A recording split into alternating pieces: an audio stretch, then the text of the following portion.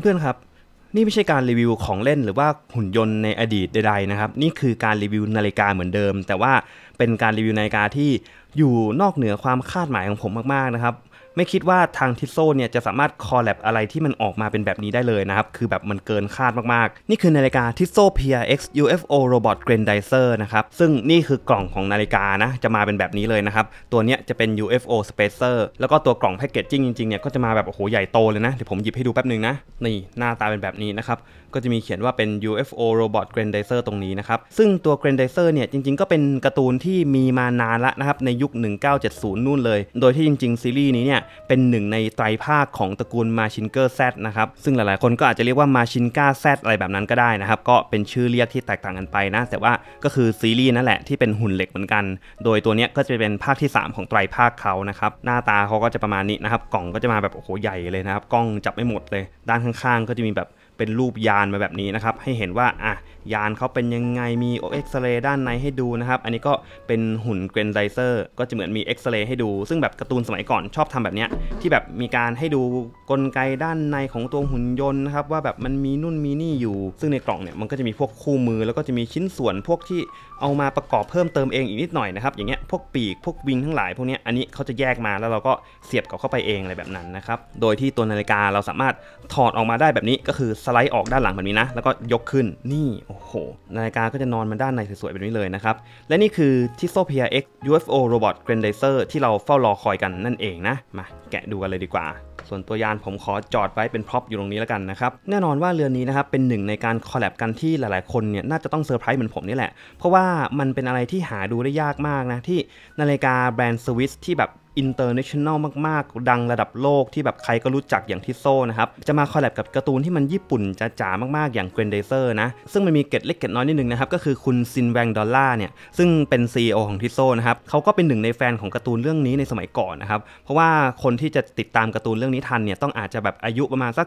40 จนถึง 50แถวๆเนี้ยดังนั้นถ้าเกิดเป็นวัยอายุประมาณ 40 ลงมาเนี่ยอาจจะยังไม่ได้ทันการ์ตูนเรื่องนี้เท่าไหร่นะครับเพราะว่ามันเก่าแก่มากๆเลย ซึ่งการ์ตูนเนี้ยมันก็เป็นปีเดียวกันกับที่ Tissot PRX ถือกำเนิดขึ้นมานะครับ ก็เรียกว่าอยู่ในช่วงเวลาใกล้ๆไล่ๆเลี่ยกันอะ ดังนั้นเขาก็เลยเอามา collab กันเพื่อเป็นการระลึกถึงในยุค 70 ในอดีตที่ผ่านมานะครับ เป็นการสร้างประสบการณ์ร่วมของคนวัย 40-50 ในยุคนั้นได้เป็นอย่างดีเลยนั่นเองนะ โดยที่การ collab ของเขาเนี่ย นอกจากตัวกล่องที่จะทำมาแบบอลังการมากๆแล้วนะครับ คือเอาจริงนะ แค่กล่องเนี่ยมันก็ไม่ต้องคิดอะไรเยอะละ ต่อให้เป็นคนที่ไม่ต้องสนใจการ์ตูนเรื่องนี้นะครับไม่ได้รู้จักมาก่อนอะอย่างผมเองผมสารภาพเลยว่าผมไม่ได้รู้จักการ์ตูนเรื่องนี้เป็นการส่วนตัวขนาดนั้นนะครับคือรู้จัก Mazinger Z มาบ้างนะครับ Grendizer เนี่ยเหมือนแบบคุ้นๆนิดๆอะแบบไม่ได้อยู่ในความทรงจำเท่า Mazinger Z แต่ว่าอะพอเห็นหน้าปั๊บก็คุ้นๆนิดหน่อย คือเรียกว่าผมไม่ได้เป็นแฟนตัวยงของซีรีส์นี้อะแต่ว่าพอเห็นตัวกล่องปั๊บเนี่ยมันไม่ต้องคิดอะไรเยอะเลยนะครับมันต้องซื้อเท่านั้นอย่างเดียวนะครับ เพราะว่ามันหาดูได้ยากจริงๆ กับการที่กล่องนาฬิกาเนี่ยมันจะมาอลังการได้ขนาดนี้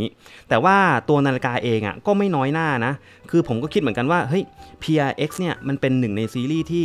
มันก็ไม่ได้มีพื้นที่ให้ทำอะไรได้เยอะนะครับ คือมันมีแค่หน้าปัดด้านในอย่างเดียวเลย แล้วก็ตัวเคสด้านนอกเนี่ยมันก็เป็นเคสทรง original มากๆ จะไปปรับสีเคสเขาจะไปปรับรูปทรงเคสมันก็ทำไม่ได้นะครับ มันก็คงต้องทำอะไรกับหน้าปัดนี่แหละ แต่ว่าหน้าปัดมันก็ไม่ได้มี detail ให้แบบเปลี่ยนสีนั่นเปลี่ยนสีนี่ได้เยอะอะก็คือมีแค่แบบ chapter ring มี marker แล้วก็เข็ม เท่านั้นเองนะครับ ก็คิดอยู่เหมือนกันว่าเอ๊มันจะออกมาเป็นยังไง แต่สุดท้ายแล้วเนี่ยคนออกแบบนาฬิกาผมว่าก็ทำได้ดีมากนะ ด้วยการที่เขาอะเปลี่ยนหน้าปัดเป็นรูปของ Grendizer ไปเลยนะครับ ซึ่งรูปของ Grendizer เนี่ยจะมีความกิมมิคอย่างหนึ่งตรงที่ มันจะเป็น lume เรืองแสงขึ้นมาในที่มืดด้วย ดังนั้นเวลาเรามองสภาพแสงปกติเนี่ยมันจะเป็นหน้าปัดสีน้ำเงิน Sunburst เรียบธรรมดาแล้วก็จะมีเส้นสายเป็นลายเส้นวิ่ง ซึ่งก็ดูสวยดีนะครับแต่ว่าพอมันมืดเท่านั้นแหละนะครับมันจะเรืองแสงวาบขึ้นมาเป็นลายเส้น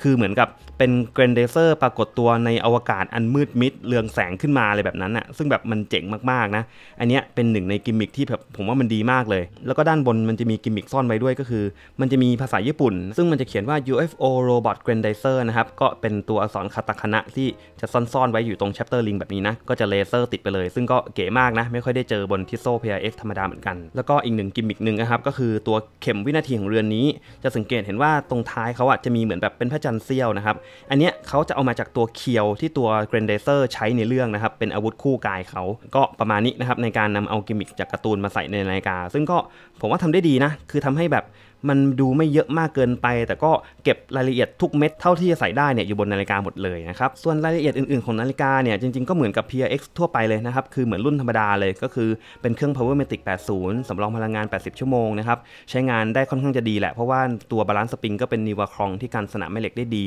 การสำรองพลังงาน 80 ชั่วโมงเนี่ยก็สามารถอยู่ได้แบบยาวเกิน 3 วันนะดังนั้นเป็น everyday watch ได้สบายๆนะครับแล้วก็ตัวเคสการขัดเงาทั้งหลายเนี่ยถือว่าทำได้ดีมากๆตามคุณภาพของ PRX อยู่ละ คือ PRX เนี่ยถือว่าเป็นหนึ่งใน finishing ที่ทำได้เกินราคาสุดๆเลยนะครับ เอาไปเทียบกับนาฬิกาหลักแสนได้สบายๆนะ แล้วก็ชิ้นส่วนต่างๆ การขัดเหลี่ยมมุมมานี่คือแทบจะ perfect เลย แล้วก็ฝาหลังนะครับจะมีโลโก้ของ g r a n d a z e r เนี่ยอยู่ตรงโรเตอร์ด้วยนะครับ แล้วก็มีการเขียน Tissot X g r a n d a z e r อยู่ด้วยด้านล่างสุดแบบนี้นะ ก็เก๋มาก ส่วนรอบๆก็จะมีสเปคบอกไว้นะครับ เป็น Special Edition นะ เรือนเนี้ยไม่ได้เป็น Limited นะเพื่อนๆ คือไม่ได้มีการ run ตัวเลขนะครับ เป็น Special แบบเป็นรุ่นพิเศษที่ผลิตมาแบบอาจจะไม่ได้เยอะมากเท่ากับรุ่นทั่วไป แต่ก็ถือว่าแบบไม่ได้จำกัดจำนวนแล้วก็ run number แบบ Limited เหมือนกับที่ผ่านๆมานั่นเองนะ รายละเอียดฝาหลังก็ประมาณนี้นะครับ ถือว่าเปิดโชว์เครื่องมาสวยดี ส่วนขนาด case size เรือนนี้ก็ 40 มิลนะครับ ความหนาเนี่ยอยู่ที่ 11.1 มิล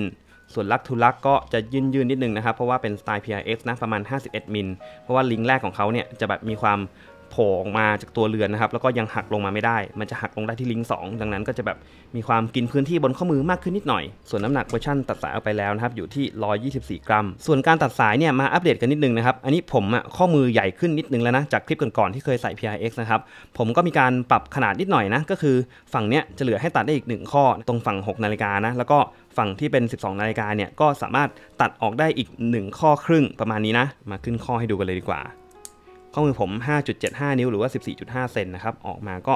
ประมาณนี้ ก็แน่นอนว่าฟีลลิ่งโดยทั่วไปอะมันก็ไม่ได้ต่างอะไรกับตัว PRX ธรรมดานะครับ แต่สิ่งที่ต่างก็คือเรื่องของหน้าปัดที่แบบ ผมว่ามันดูคลีนมันดูเรียบร้อยขึ้นนะ ผมจะรู้สึกเหมือนกับใส่ตระกูล PRX รุ่นคอร์สที่มันเป็นหน้าปัดเรียบอะประมาณนั้นเลยนะครับ คือใครที่รู้สึกว่าใส่ตัวออโต้แล้วแบบอาจจะรู้สึกไม่ชอบตัวลายหน้าปัดที่มันเป็นลายเหลี่ยมๆมันดูเยอะเกินไปอยากให้มันเรียบร้อยมากขึ้นไอ้ตัวเนี้ยจะตอบโจทย์มากๆเลยนะครับต่อให้เราไม่ได้ชอบลายตัวหุ่นยนต์นี้ก็ตามนะ แต่ว่าลายมันก็แบบดูไม่ได้เด่นชัดมากเกินไปอะแต่ว่ามันันก็ให้กลิ่นอายความเป็นสีน้ำเงินเข้มๆเรียบๆอยู่บนหน้าปัดได้ดีขึ้นนะ แล้วก็ตัวลายเนี่ยเอาจริงก็ไม่ได้กวนมากเท่าไหร่นะครับ มองหลายๆมุมก็จะเห็นแบบเป็นลายจางๆเท่านั้นนะครับ แต่ว่ามันก็จะมีกิมมิคเวลาเข้าที่มืดที่แบบเรืองแสงขึ้นมาแบบเก๋ๆเลย อันนั้นคือสุดยอดมากนะ คือเรียกว่าเป็นนาฬิกาที่คุณไม่ต้องเป็นแฟนของ g r a n d a z e r ก็ได้ คุณก็สามารถซื้อใส่ได้นะครับ เพราะว่ามันก็ดูดีเหมือนกับ Tissot PRX ทั่วไป แต่ว่าได้กิมมิคของหน้าปัดที่มันเรืองแสงขึ้นมาได้ด้วย ก็เก๋ขึ้นมาอีกประมาณหนึง และยิ่งถ้าเกิดใครที่เป็นแฟน g r a n d a z e r อยู่แล้วเนี่ยยิ่งบอกได้เลยว่ามันห้ามพลาดด้วยประการทั้งปวงอยู่แล้วนะครับ มันไฟบังคับในการซื้ออยู่แล้วนะ